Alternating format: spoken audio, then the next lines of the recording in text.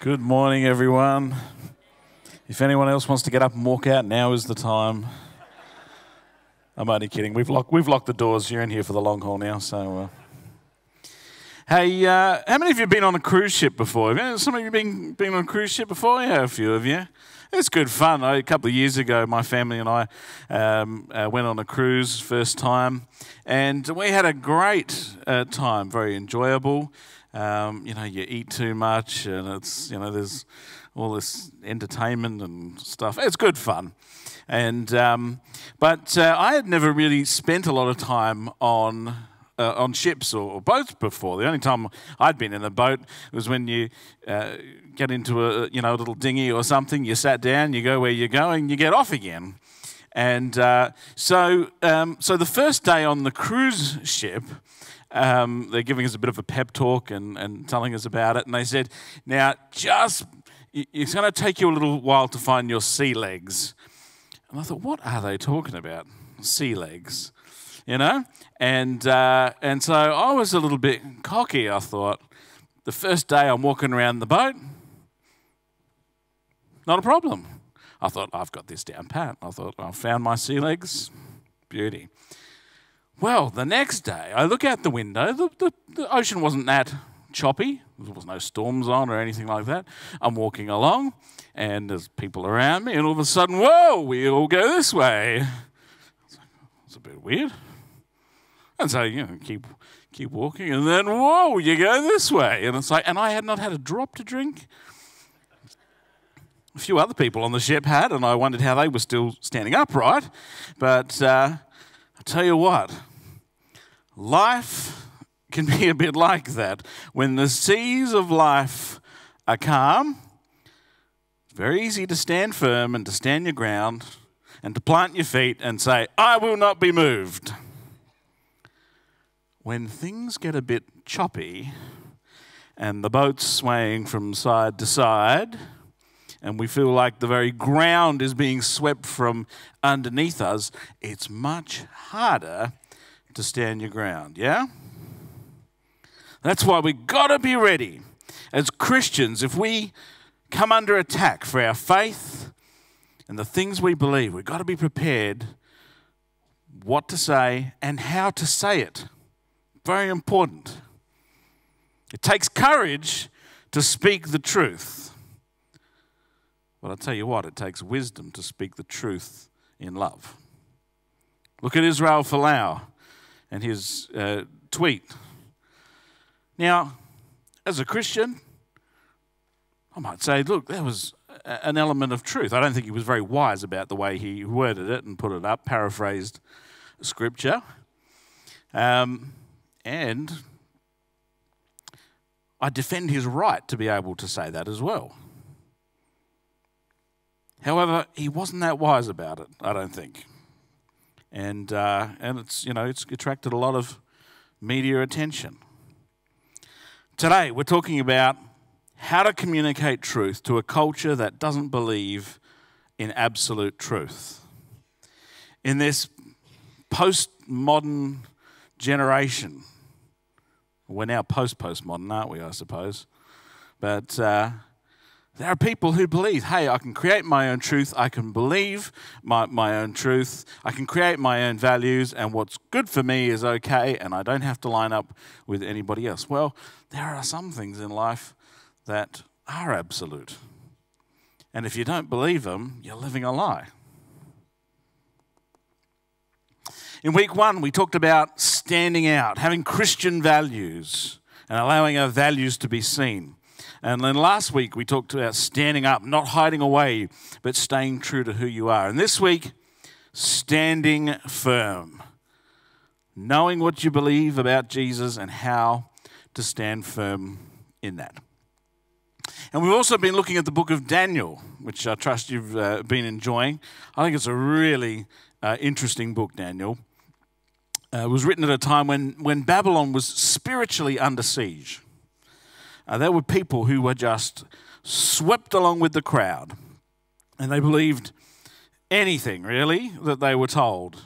If they were told to believe this, they went with it. If it, they were told to believe that, they went with it. And yet there were people like Daniel, like Shadrach, Meshach, and Abednego, who stood firm. And they were magnificent men, really, who were, were in, in their day incredible role models and are incredible role models still to us as we read their stories. And they weren't afraid to stand firm in what they believed, and they weren't persuaded to change their allegiance to serving, uh, away from serving God. Now, in his first few chapters of Daniel, we also have King Nebuchadnezzar. We've talked a fair bit about him the last couple of weeks. I mean, he was a tyrant, he was an egomaniac, he was, he was a murderer. I mean, he could snap like that, and if he didn't like the way you looked at him, it was off with your head or into the furnace. I mean, he was he was quite uh, crazy. So that's where we're picking up the story today. But all of that was about to change for Nebuchadnezzar. And so we're in chapter 4. If you've got a Bible or an app, you can uh, follow along. Daniel chapter 4. We'll have the passages on screen here. So, how did Daniel stand firm in what God called him to do? Nebuchadnezzar has a dream. Life is good He's, things are going well. He's looking around, sitting, I've got lots of nice things. I've got a great kingdom. Life is good. It's good to be the king. And then he has this dream, and it freaks him out. Now, how many of you here have ever had a crazy dream? Yeah? Some people say you probably shouldn't reveal too many of your dreams because it does kind of show something of, of your subconscious. Nate Rigney and I discovered that we, we share the same crazy dream, which is that we come into a church service, we're getting organized, and everything goes wrong in the service. The PA blows up, the, uh, the music, uh, the, oh, it just all goes wrong. I used to have one where I was officiating at a funeral and the body hadn't turned up yet, the coffin wasn't there. That says something about my subconscious, doesn't it? Hey, you ever had a scary dream? one where you just suddenly wake up and it's like, whoa, what was that all about? And five minutes later, you can barely remember it. You know, I used to kind of, when I had those kind of dreams, I'd wake up, I'd go, wow, that was weird, move on. Nowadays, if I, and I don't know, I don't often remember my dreams actually these days, but if I do, I say, wow, God, are you trying to tell me something through that. And much more often than not, God, uh, God reveals something to me through that. So I encourage you, if you have a crazy dream, take a moment to just ask God, is there something in that? Sometimes they're just crazy dreams.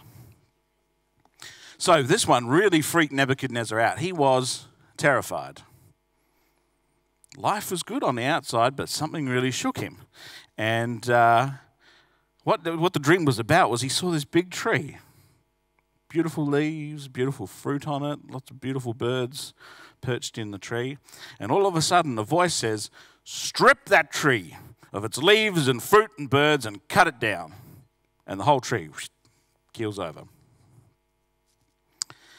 So Nebuchadnezzar was really disturbed by this uh, dream, and Daniel was the only person he trusted to interpret it. Have a look what he says. Verse 18. So this is Nebuchadnezzar talking. This is the dream that I, King Nebuchadnezzar, had. Now, Belshazzar, which is Daniel, tell me what it means, because none of my wise men in my kingdom, who obviously weren't that wise, uh, in my kingdom can interpret it for me, but you can. Because the spirit of the holy gods is in you. Really interesting. For, for all his faults, Nebuchadnezzar recognized something in Daniel. Daniel had previously interpreted a, a dream for him, and, uh, and so he held Daniel in, in, in high esteem. And he recognized that there was something at work that wasn't Daniel's own ability, um, but it was God at work uh, in him. And that's something for us as Christians to really aspire to that people would see God in us. Not us at work, but that they would see God uh, in us. So, he trusted Daniel because Daniel had a good track record and a good reputation. Well, Daniel at first is a little bit shaken up by this. Uh, look what it says. Verse 19. Then Daniel was greatly perplexed for a time, and the thoughts terrified him. Because I think God, God gave him the interpretation. He's thinking, oh my gosh, how am I going to tell the king this dream is about him? And so the king picks up on this and he says, Daniel, he goes, don't let the dream or the meaning alarm you. Just you just tell me. Don't let such things alarm you. There are a lot of things in our world that can alarm us. In our outer world, you only got to flick on the news, watch five minutes, stories of wars, watching our politicians bicker occasionally. And we're lucky in Australia. They are, they are mostly good but you watch what goes on in, in, in other places around the world. Or even natural disasters. You think, Lord, what is going on? It can be very unnerving. Or what about our inner world? Maybe there's relationship breakdowns going on. Maybe there's some desires and temptations that come up. You think, my gosh, where did that come from? Maybe it's struggling in our finances. A whole lot of things that go on in, in our personal life. Don't be alarmed. Be assured that God is at work. He is for us and not against us. Amen? And it's these kind of moments we rely on God and stand firm in what we know. And so we have to speak the truth, but we have to do it in love. And that's what Daniel does. He interprets the dream honestly. He doesn't shy away. He could have. He doesn't shy away from it, but he does it compassionately. Look how he, he does it beautifully. He starts off, Oh, my Lord, he's talking to the king. He goes, If only the dream applied to your enemies and its meaning to your adversities. He's really trying to say, King, I'm preparing you for the bad news here. And so he tells him, the dream is about you, Nebuchadnezzar. All those things are going to happen to you. You're going to lose your kingdom. You're going to lose your sanity, even. You're going to end up as an outcast, living like an animal, eating grass, and, uh, and it's going to be like that for seven years. Whew. Imagine having to pass on a word like that to somebody, especially somebody who can chop your head off or throw you in a furnace. So he, he tells the king this, and at the end of it, he says, So therefore, your majesty, please, please accept my advice. Renounce your sins by doing what's right, and your wickedness by being kind to the oppressed. He's really trying to appeal to him. He's not saying, hey, if you do good, you'll somehow win your salvation. But he is saying, if you genuinely open your heart to God and allow a transformation to take place, then maybe your prosperity will continue. And so he pleads with the king and tries to appeal to him on the grounds of compassion and mercy. And I guess it worked because Nebuchadnezzar didn't kill him on the spot, which was good for Daniel. I think maybe he had learnt, actually, through the experience with Shadrach, Meshach, and Abednego, uh, that there, there is a, higher power at work here and that I better not tamper with it. So maybe he was a little bit, he was, I think he was on a journey by, by this time. I tell you what, we could really learn from Daniel. And if you ever have to speak the truth to someone, do it with love and mercy. Pray, God, how, not, not just what to say, but how do I communicate this? Anyway, it comes to pass. Nebuchadnezzar lost his kingdom, he got kicked out, he loses his sanity, he ends up living like an animal for seven years. Uh, but at the end of it, it's restored to him. Have a look at this. Verse 37. Now I, Nebuchadnezzar, praise and exalt and glorify the King of heaven. Do you get a feeling something's happened here on the inside? He has really changed. Because everything God does is right and all his ways are just. Now, you think about that. he's spent seven years living like an animal, eating grass. That's pretty incredible to be able to come back and say, well, you know what? That was right. That was just. I deserve that. Whoa, that is pretty incredible. And those who walk in pride, God is able to humble.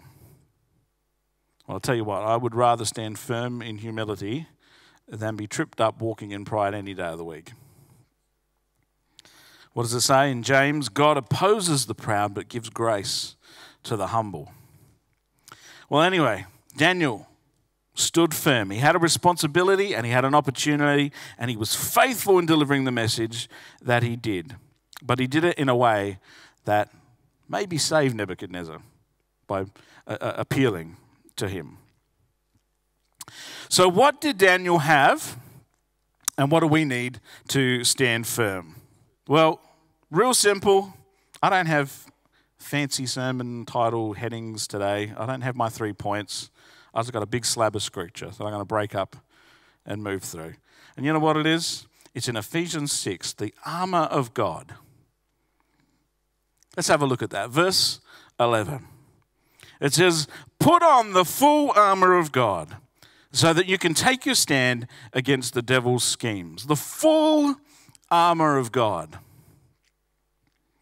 You can't just have one bit of the armor or a couple of bits. You imagine if six soldiers went out to fight and one of them said, Well, I'm going to take the sword, you take the breastplate, uh, you take the, the, the shield, and we should be okay between the six of us. It's like, What? That's dumb. Because the enemy is going to look for your point of vulnerability and uh, get you. No questions asked. You need the full armor of God. We need the full armor of God. And Paul gives us a, a really an excellent uh, illustration. Now, for us today, you know, we generally don't see people walking around in the street in armor unless they're going to like Comic Con or something like that, uh, dressed up in some bizarre outfit. Um, but of course, in Roman times, centurions were all over the place. And so people were very familiar with the concept of armor and, and these things. So they get the, the illustration. Important to note, it's a spiritual armor against spiritual schemes. Have a look at this next verse. For our struggle is not against flesh and blood, very important, but against the rulers, against authorities, against the powers of this dark world, and against the spiritual forces of evil in the heavenly realms. Really important. We're not fighting people, we're fighting powers and principalities that would seek to set themselves up against Jesus and his kingdom, things that would draw people away from Jesus. We're not fighting people. And so, standing firm against ideas and actions that seek to draw people away from Jesus, incidentally, also means that we need to stand firm in drawing people to Jesus. And that's a whole other message.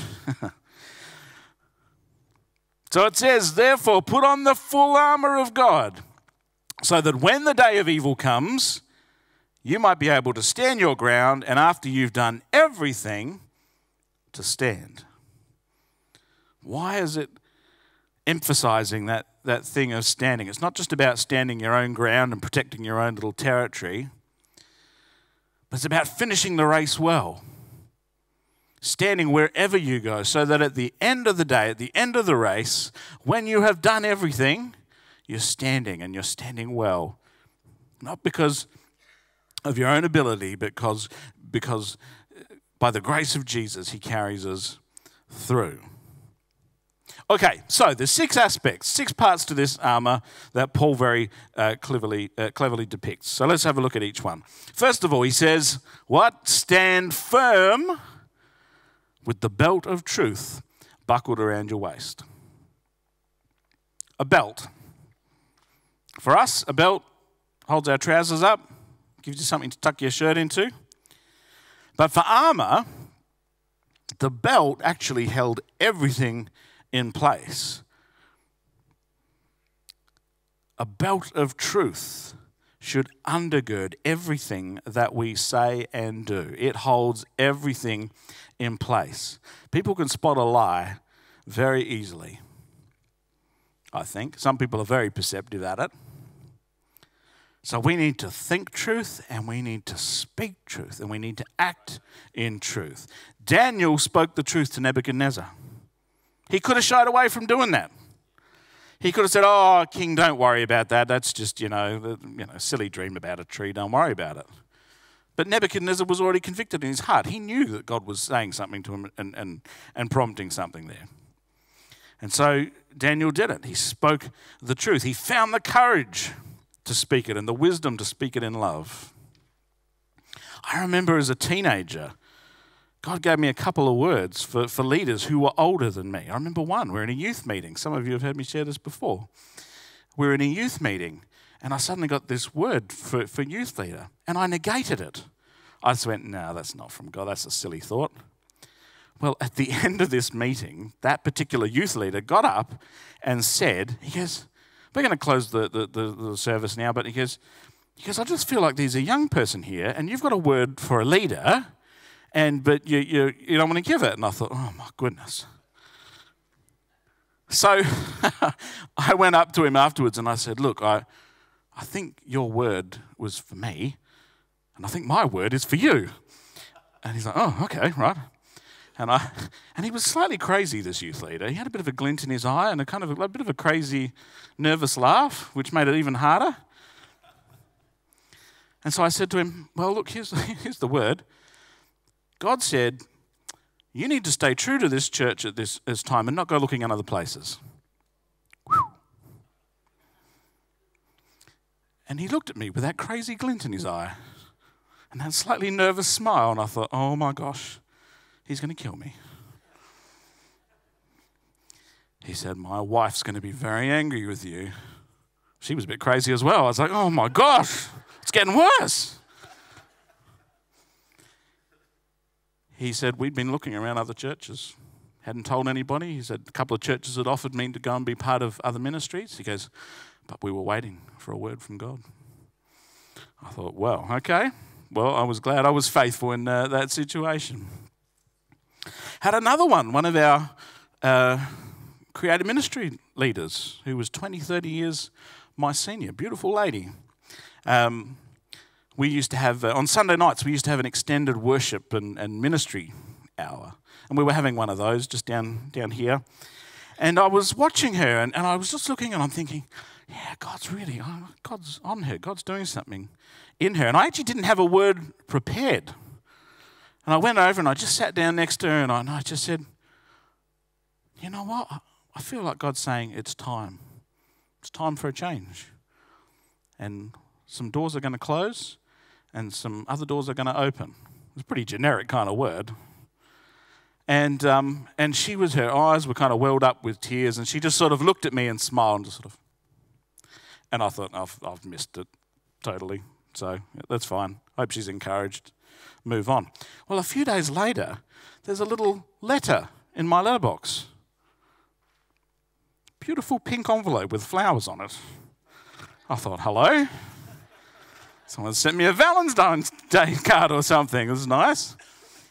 Anyway, it was from this, this leader. She said, You know, dear Nathan, sorry for the flowery paper, it's all I had.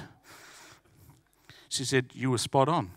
She's been, God's been talking to me about some changes. You know what? That was scary as a, as a teenager, or, you know, early 20s. Terrified of, you know, having to speak out those words. But it, when it's God's truth, got to be faithful to do it. All right. The breastplate of righteousness, the next part of the armor, the breastplate of righteousness in place. What does a breastplate do? Protect your vitals, particularly your heart and lungs. Protecting your heart, guarding your heart. What does it say in Proverbs 23? Guard your heart, for everything you do flows from it.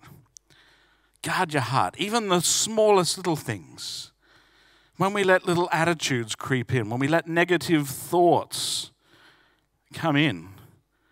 Like, seriously, I'm driving here this morning and my mind just starts to wander a bit. And I have this sort of just slightly negative off thought. And I spoke to it straight away. I said, No, I don't want that in there. Here, I'm, I'm trying to prepare myself, thinking about speaking this morning and, and, and sharing the word. And this little thought comes in. I spoke to it straight away. You can do that. See, it's really about putting Jesus on the front door of our heart. It's not about building up a hardness of heart. Sometimes we can assume if I build a brick wall, don't let anything in, then I'm safe. Then you develop a hardness of heart. You can't love God and love people if you have a hardness of heart. But it's about keeping the unrighteous things out, a breastplate of righteousness. Daniel had a track record and a reputation of righteous living. And that's why Nebuchadnezzar uh, respected him. Man, I remember when I was in, again, in high school, I was in a pretty unsanctified high school. There was a culture uh, of, of just smoking, drinking, taking drugs, um, couples sleeping with each other, and swearing. I mean, it was, it was pretty bad. And, and during my teenage years, God uh, really worked on my heart, and, and, and I rededicated my life to Him and, and was growing in Him. And I just remember one lunchtime, I'm there with friends, and, uh, and the conversation's going on, and you know, every other word was just cussing, swearing. And, uh, you know, I put up with it for, for a long time, and eventually I just said to one of my mates, I said, hey, could, could you maybe just not talk like that around me anymore? I said, so, I mean, and at first he was a bit, oh, well, okay, gosh, you know, I didn't nobody had ever said that to him. Anyway, it didn't change overnight, but I, I, I watched him. Every now and then he'd drop a word and then suddenly he'd turn to, oh, sorry about that. But I really felt to, to call it out and say, you know what, I, I don't want that kind of language around me. I, people don't talk like that at church, people don't talk like that at home. I don't want that, that stuff around me. And there's so much in our world today, stuff that can get into our hearts. Maybe it's pornography. Maybe it's gambling. Maybe it's extremist political views that are out there. Don't let those things hook in. We need a breastplate of righteousness and allow Jesus to discern uh, what's right. And so the next part, with your feet fitted with the readiness that comes from the gospel of peace. Not just righteous living that guards our heart, but the peace that comes from knowing Jesus. And I like this il- illustration of having your feet fitted, having you know the right footwear on. Some of you here probably like going for walks, uh, nice long walks on the beach or in the in the hills. You've got to have good shoes. If you're going to do that, you can't have crummy old ten dollar sneakers.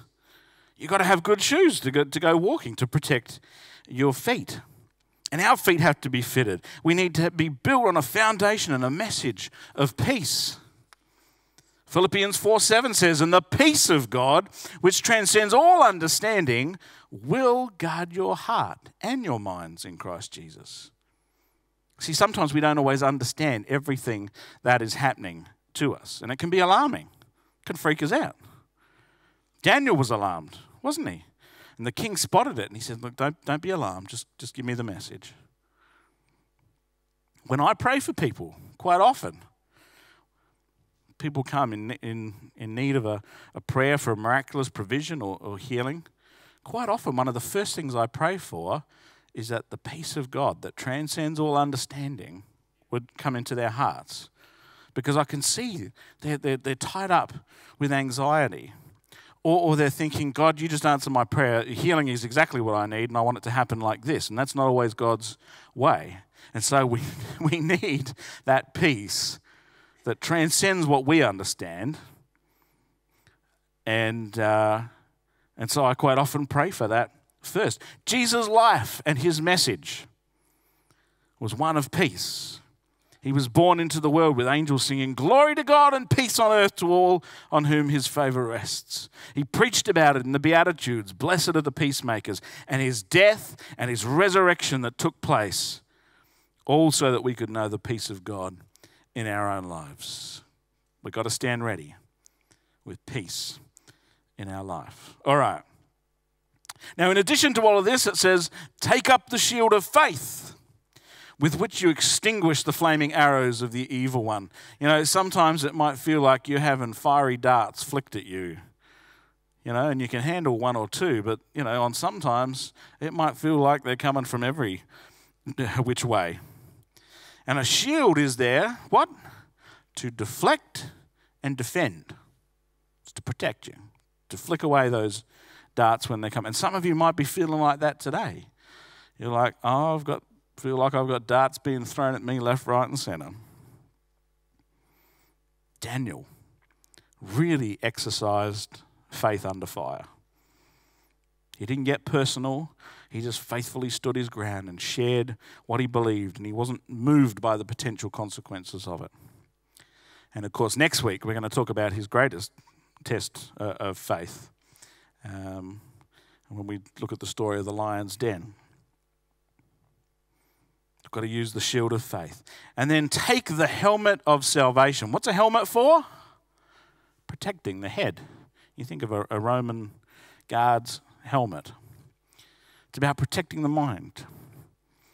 We have to always be mindful of our salvation and what that means. Always reflecting on it, always thinking and, and protecting and guarding that. That's why, as a church, we run things like the New Beginnings course or Alpha, because we want people to uh, uh, help understand what the Christian faith is about, what salvation is about, what they've won in Jesus, so that they can stand in the truth of that. Man, we've got to never forget the power of the cross and what was won for, for us there. You know, I only grow more and more uh, in love with the Easter story when I hear it. You might think, you know, it's not like reruns on television where you think, oh, I've heard this two or three times, I know the ending. The more you hear it, the more you fall in love with Jesus. The more you realize that what he did on the cross was for me, it was for you, it was for all of us. Daniel never forgot his relationship with God, and he was very obedient to the call of God on his life. Well, guess what? We've got one step better than that. We've got a relationship with Jesus like a hotline to heaven. And I only grow more and more amazed at, uh, the wonder of my salvation. In a few moments, we're going to take communion together. I want to encourage you this morning that as you're holding the emblems, as you're reflecting, allow God to remind you about the wonder of your salvation, about the meaning of the cross in your life. Maybe you've never done that before. I encourage you to do that this morning. And the final part of the armor, as I bring this to a close, the sword of the Spirit, which is the Word of God. It's about getting to know the Word, this Word. I don't think you can know God better than to know His written Word, but also to learn to recognize His voice when He speaks it's a living word. It's not just a history book. If it was just a history book, it's one of the craziest history books I've ever written, read. It's pretty incredible. We've got to learn to listen for God's voice as well. Daniel knew the law, knew the scriptures, certainly knew the Ten Commandments, but he also knew the voice of God. He heard God interpret that dream, and it was right. That's why our daily devotions are so important. That every day as we get up and spend time in the Word and spend time with the Lord, we're not just equipped with a word, really, it's like putting on putting on Jesus. We're equipped with the, the full armor because it's Jesus' truth, it's Jesus' righteousness, it's Jesus' peace. It's His faith by the Holy Spirit working in our life. It's His salvation and it's His word. Let's have a look at those six things on the screen uh, together there. We need each of these working together. It's not about one or the other. You might go, Whoa, I'm struggling to get my head around one of those. You know what? It's not in your own strength. As you get up each day, when you put on Jesus, He'll help and guide you through on each one of those things. Putting on the full armor of God so you can stand firm. Friends, what's God saying to you about standing firm this morning. Maybe some of you have felt a bit shaky, not firm in your walk with Jesus. You can learn to stand, stand firm in your outer world when there are things that are going on that are beyond your control, you can stand in the truth of Jesus. Or standing firm in your inner world. If there are things that are going on for you this morning, I encourage you as we take communion together in just a moment, bring those to Jesus. Lay them at the foot of his cross. You can stand firm. You don't have to be shaken. You can find your sea legs and not be swept left and right.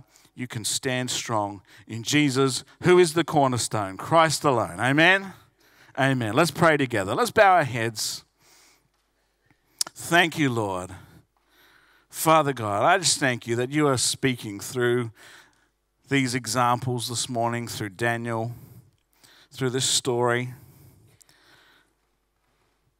Lord, through Nebuchadnezzar, how you gave him a second chance and, and found a new beginning in you.